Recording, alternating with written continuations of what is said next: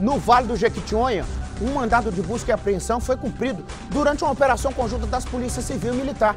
Diversos produtos foram apreendidos na casa de um morador em Novo Cruzeiro. Entre eles, ó, vários celulares. É, a polícia diz de origem duvidosa, né? Se não tem como comprovar, a polícia leva. O Dira Mendes vai contar aqui pra gente no telão. Nico, a Polícia Militar e Polícia Civil desencadearam a operação no município de Novo Cruzeiro no objetivo de cumprir um mandado de busca e apreensão de um homem suspeito de receptação de produtos roubados. Esses produtos teriam sido roubados por um homem dias atrás que já está preso, já foi preso pela polícia. Na casa desse suspeito foram apreendidos diversos materiais, entre eles celulares de origem duvidosa. Esse homem, juntamente com os materiais, foram encaminhados para a delegacia de polícia civil. Agora ele terá que esclarecer a origem desses materiais para poder ser solto. Dira Mendes para o Balanço Geral. É, obrigado, Diran. Agora é com a justiça lá, né?